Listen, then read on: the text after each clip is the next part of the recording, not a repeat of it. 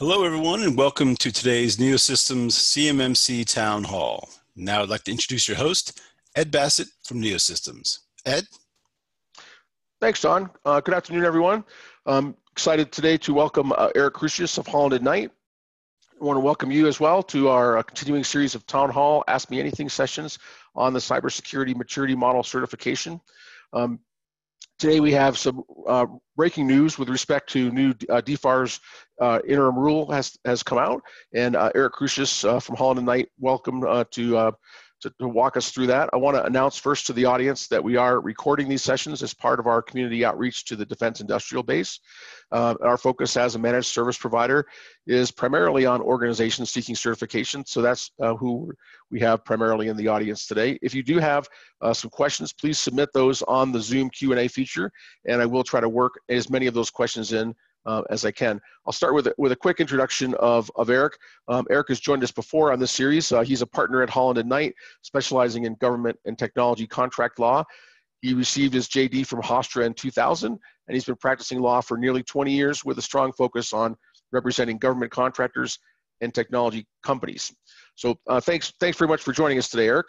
Sure. Thanks for having me, Ed. Um, the big news uh, today is the new DFARS interim rule uh, that's relating to both CMMC and the NIST SP 800-171 assessments. Uh, so this was published in the Federal Register yesterday and takes effect on November 30th. So let's start with an overview for the audience, just unpacking this package a little bit. Um, this new rule introduces three new DFARS clauses, DFARS 252.204 7019, 7020, and 7021. Can you give us just a high level survey of the thrust of these new clauses?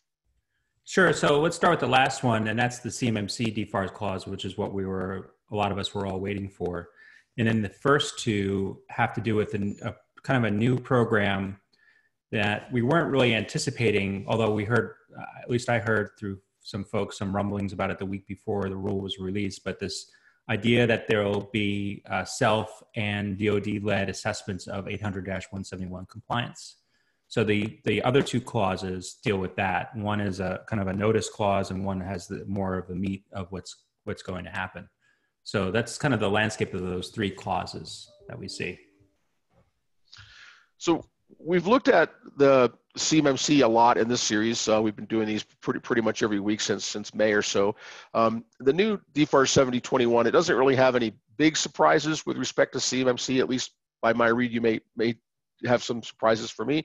Um, but these these 171 assessments, as you mentioned, are a little bit of a new and, and maybe unexpected by some.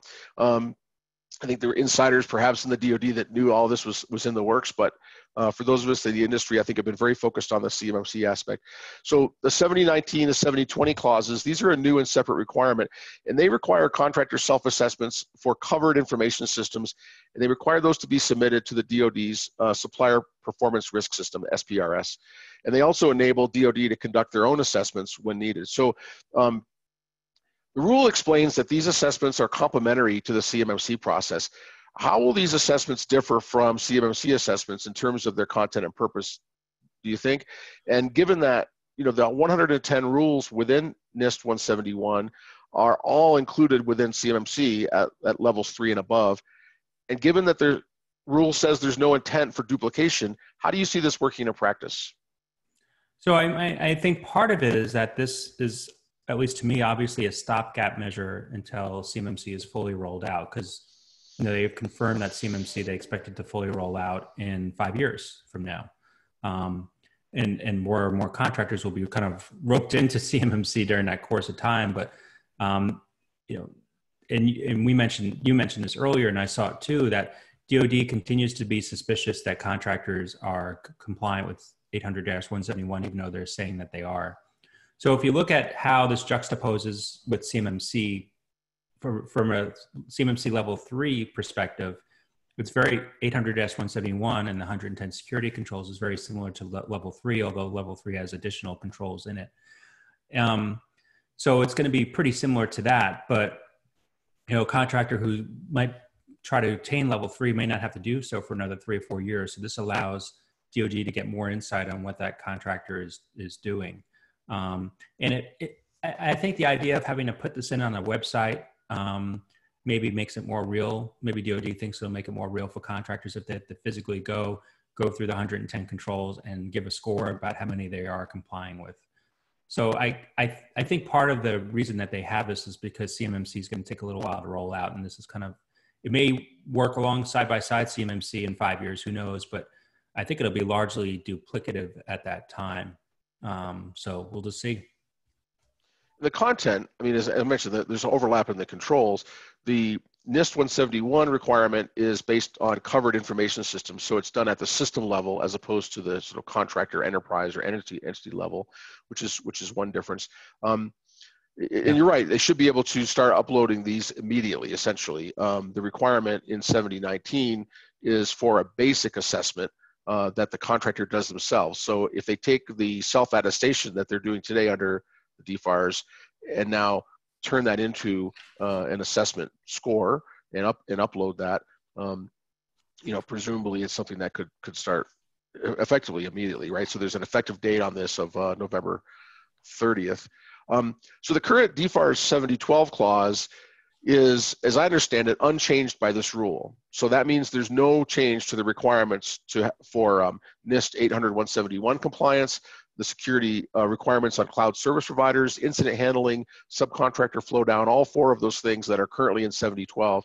Um, are there any gotchas that we should be thinking about in terms of how these new clauses, the 19, 20, and 21, interact with the existing 7012 clause?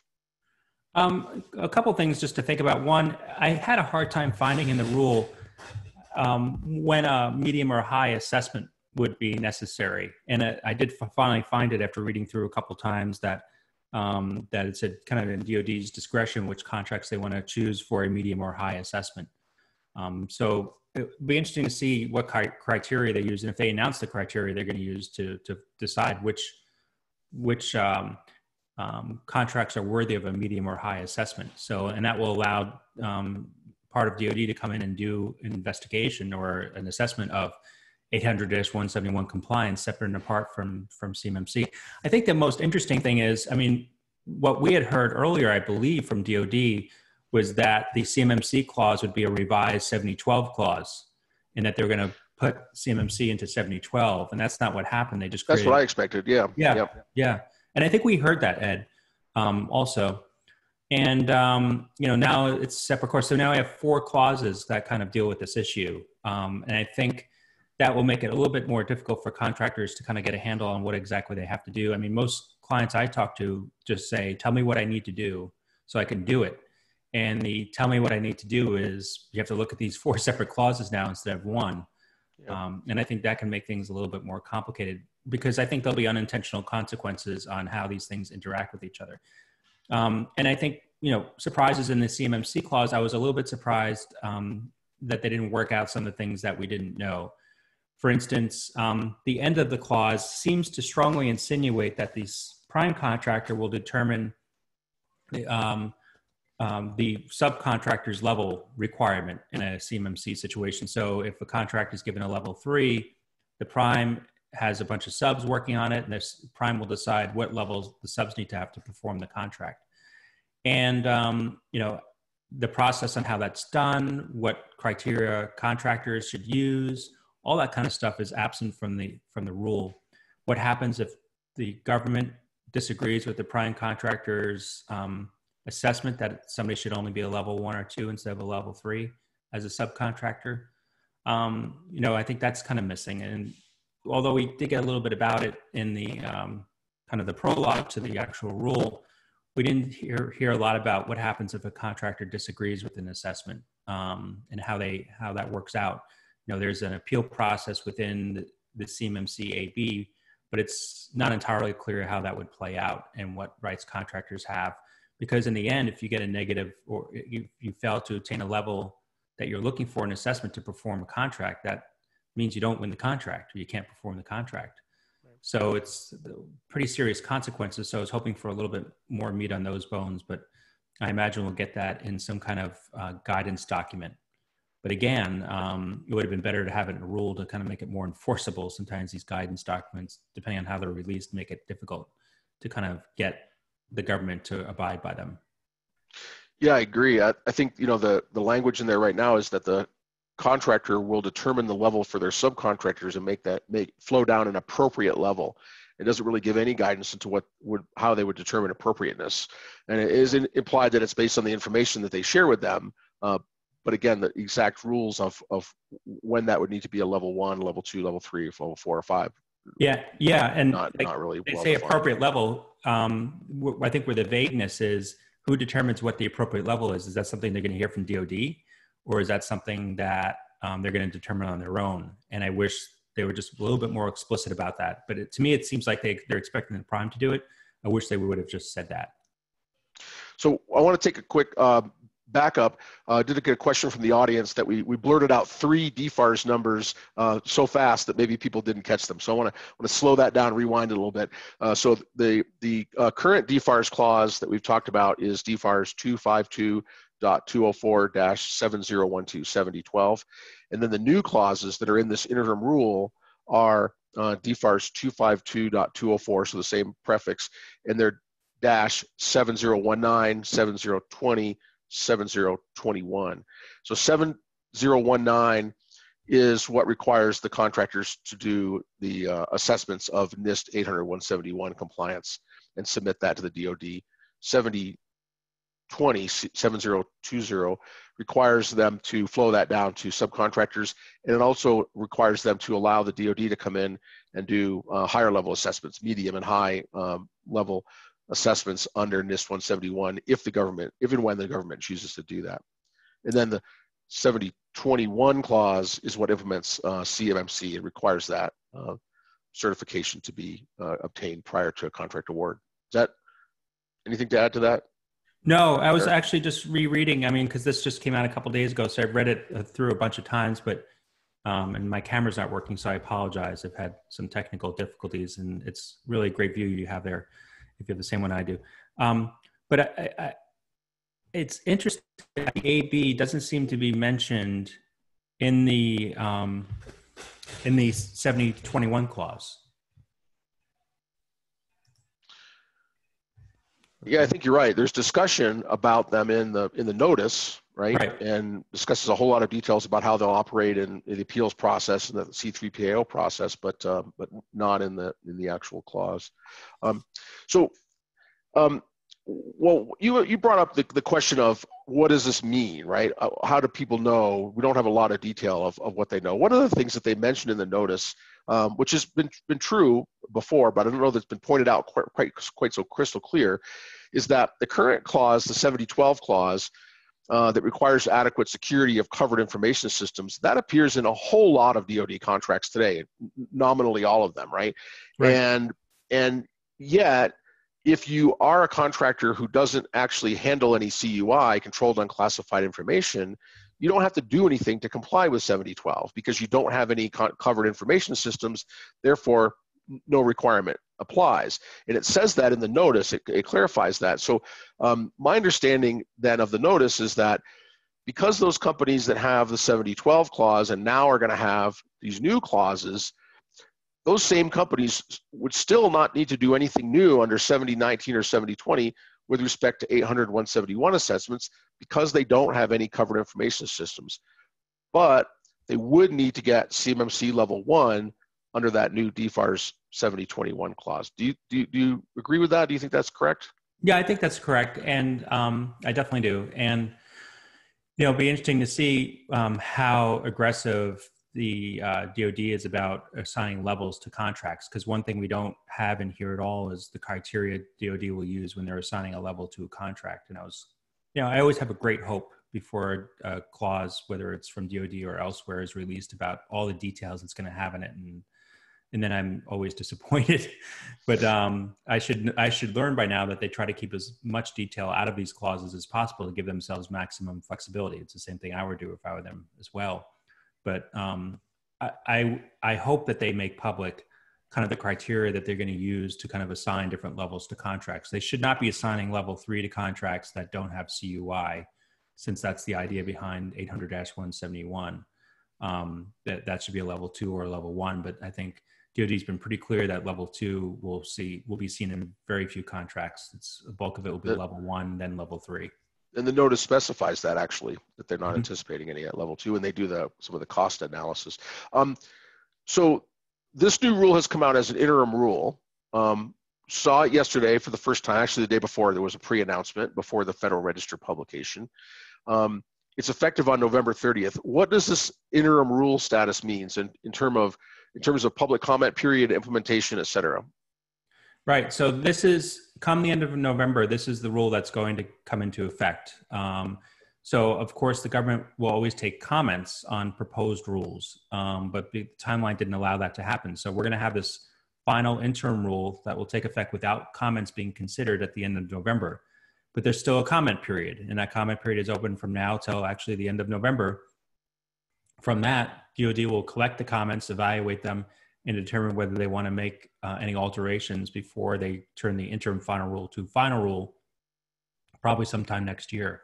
So this is these are the clauses that we're going to live with um, until that time, without the benefit of comments. And you know, I understand they had challenges uh, with COVID and everything else going on, but it's too bad that they didn't have an opportunity for comments prior to these rule, the institution of these rules, because I think public comments always make rules better because you have a lot of um, folks that have a lot of experience, contractors, um, just people in the in the community who can make make these rules better. Uh, I'm not saying that there's anything particularly wrong with these rules the way they're written, but um, you know we're going to have to live with what's written right now without the benefit of the public input from on them. So the practical effect of that, uh, in terms of how these implement, because of the, the long-term rollout of, of um, CMMC over over five years, that November 30th date, what's really, I think, from a practical perspective, going to happen on that date is contractors will have to upload their basic assessment of NIST 171 compliance for their covered information systems to the DoD's uh, designated, um, you know, repository. That sounds like that's an immediate requirement. They should have already complied. They should have already um, had a system security plan, a plan of action and milestones. So even if they don't comply with all 110 items, those items should be in the plan of action and milestones with a date that they will comply, and that's what's going to be reported up. Does that sound right in terms of, of the immediate practical effect? Yeah, um, yes. I think this clause will have to be in the contract, though. It's not that uh, everyone will have to do it. It's that once this clause is inserted into a contract, then um, they'll have to do it. So But- new contracts, contract renewals, et Yeah. cetera, right? Yeah. Okay. Yep. Good. Um, so But I'll just say this, Ed. I'll just add one more thing. Sorry, I wouldn't be surprised if, because of the importance of this, if contracting agencies are not or DoD contracting agencies are not proactive in putting this clause in, um, kind of in between renewals and and things like that, or at renewal. Um, so wouldn't be surprised to see that, and then GSA maybe adding it to their um, contracts as well. So let me dive into applicability a little bit. So the DoD has been saying all along that this program is designed to be everybody, with an exception of commercial off-the-shelf COTS products. So in reading the new rule, it specifies that it says it's going to apply to all purchases that are above the micro purchases threshold. It says it includes purchases at or below the simplified acquisition threshold. So can you shed some light on those two thresholds? Um, what would be exempt that would fall under that micro purchase threshold?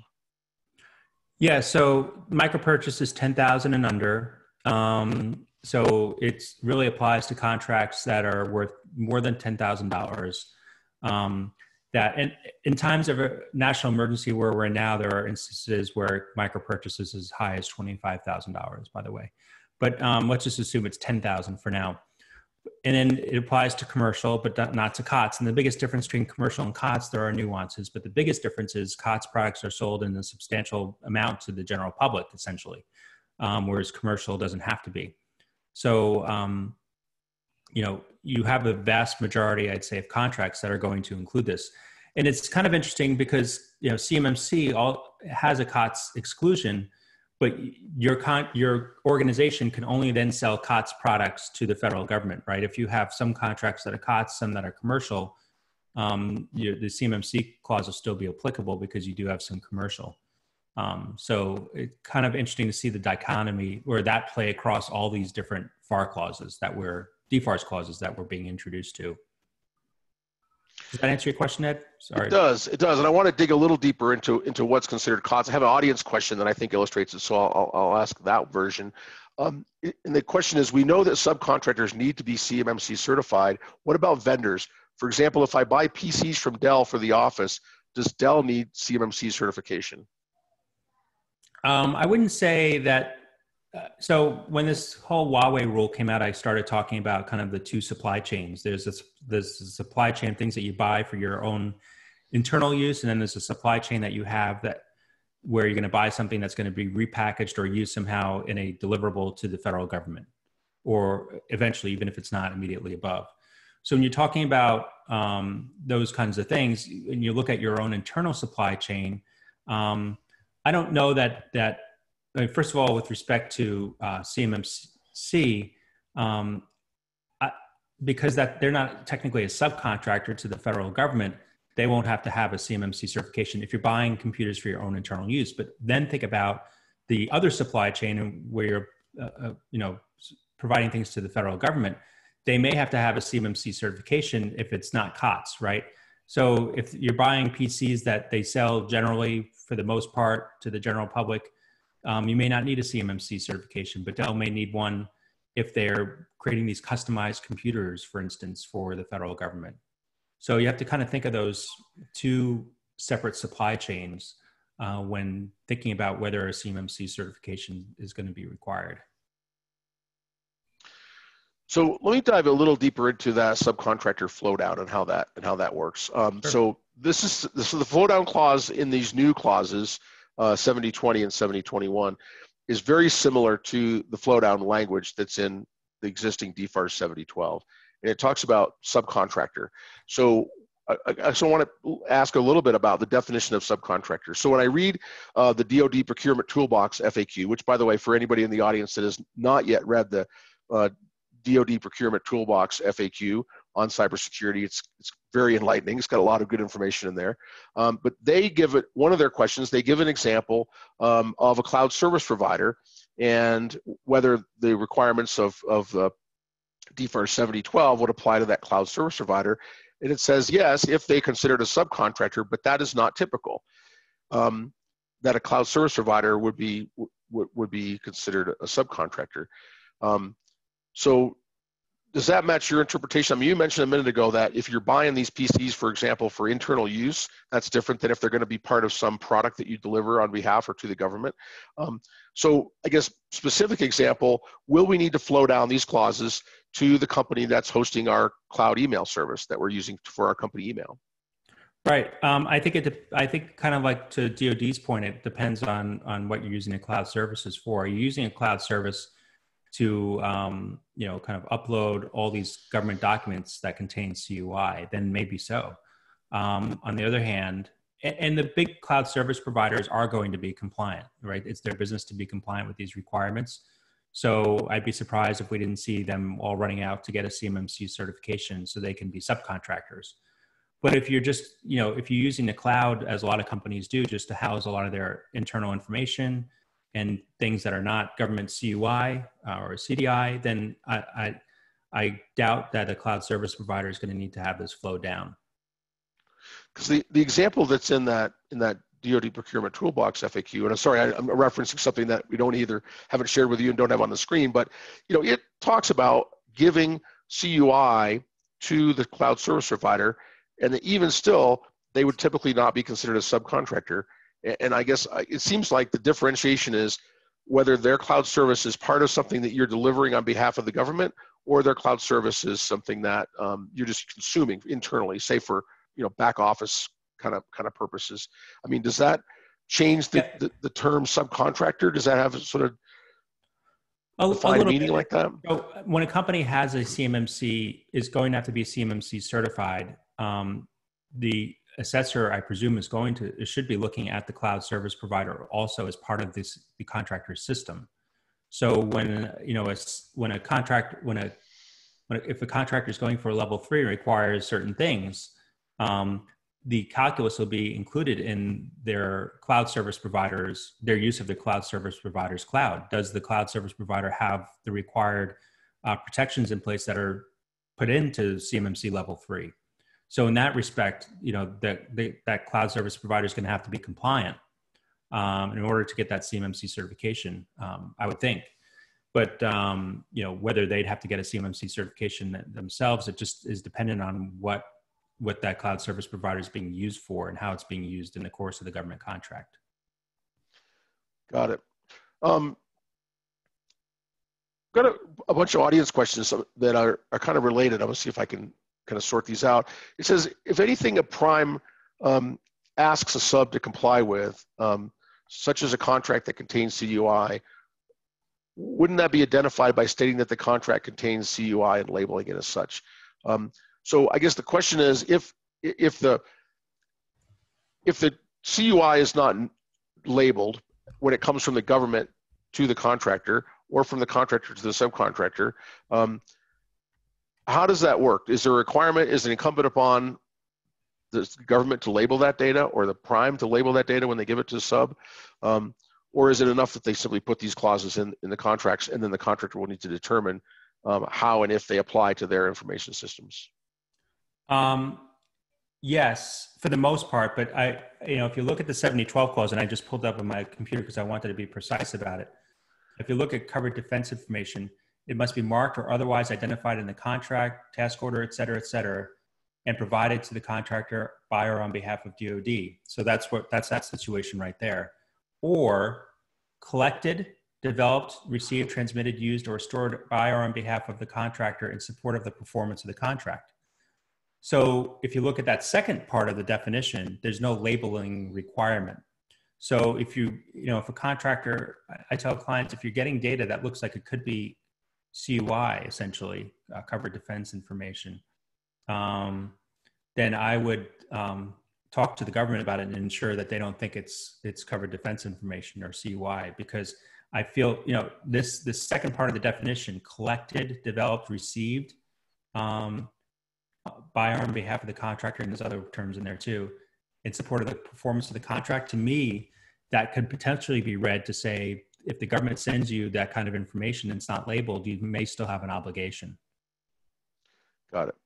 Um, let me just because we're kind of getting near the end of our time, and I have a lot of questions along those lines, but I'm gonna I'm gonna move to another topic, uh, sure. and that's the one of cost. So um, one of the things that the interim rule contains is estimates of both the number of companies that these new rules will apply to, as well as some estimates of the cost of compliance on a per company basis. And they note in there um, that 74% of the entities that are affected are small businesses. So we know the cost of compliance is a big concern uh, for the small businesses in our audience. We've, we've discussed it on many of many of these uh, sessions.